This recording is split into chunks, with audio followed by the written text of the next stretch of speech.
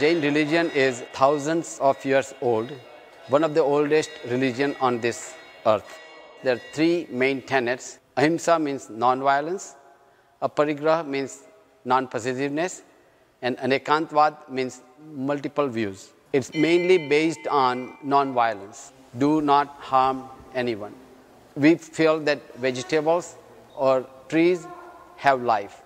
So we try to minimize violence whenever, wherever is possible, respect each and every life on this universe. It started as an undergraduate at Loyola Marymount University when I took my first Indic religions course there. And we were asked during one of our writing assignments at home to write an essay about nonviolence. Um, I was always just, just brought up eating whatever I wanted, uh, which was always fast food, American fast food, and all those kinds of things. Eating meat all the time, not even questioning it. And then suddenly I was being asked to reflect on nonviolence. While I was writing that paper, there was a spider crawling across the wall above my computer in my, in my house. And I remember grabbing something and reaching back to swat the spider down.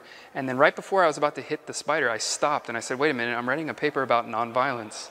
I'm reflecting on nonviolence. And for the first time in my life, I finally realized that I had this insight that everything wants to live. This spider doesn't want to die, it, it wants to live. It, and if I hit it and kill it, I'm taking that away from it. It was that defining moment that planted a seed in me that would later grow into the rest of me sort of unfolding, becoming a vegetarian and eventually a vegan, all of which was really under the influence of Jain philosophy. Crisis comes this is where Jain religion comes in a picture that you could be right, I could be right, he could be right, she could be right in their own ways.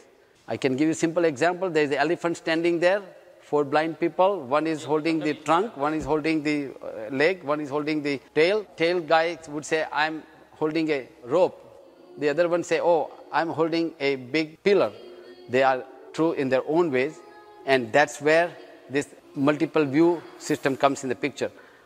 There might be multiple reasons for conflict and turmoil going through this country, and ego might be one of them, or personal aspirations or personal expectations might be another one. But when you believe in Jain principles where you believe in aparigraha or anekantvad, that's where you can win over other people and you can resolve the conflict. Another perspective that comes out of this, all of this, is the concept of multi-perspectivalism.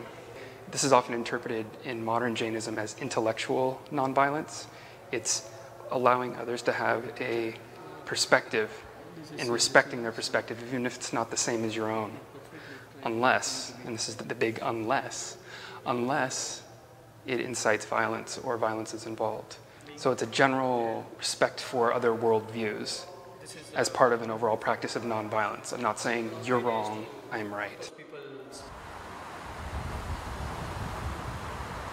The first thing you do in yoga is you set an intention to set your relationship right with the world. It's going to ask you to consider to do your best, no matter what, to perfect the paramount virtue, which is for Jains the paramount virtue as well, of nonviolence.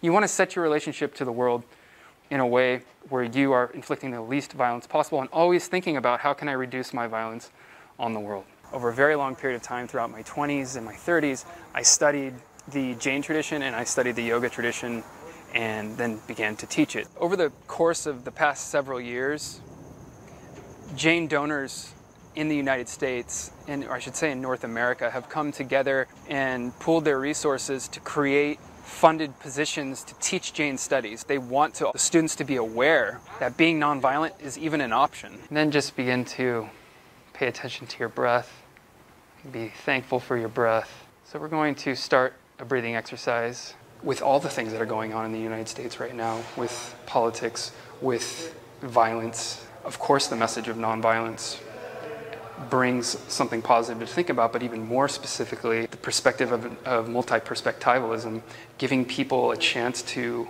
voice what it is that they want to voice, as long as we're willing to do it in a civil way that doesn't eventually escalate into violence. And even in America, we have our own legacy of philosophies of free speech, John Stuart Mill, and the idea that we should have free speech, but that free speech, we should draw a line when that free speech attempts to incite violence.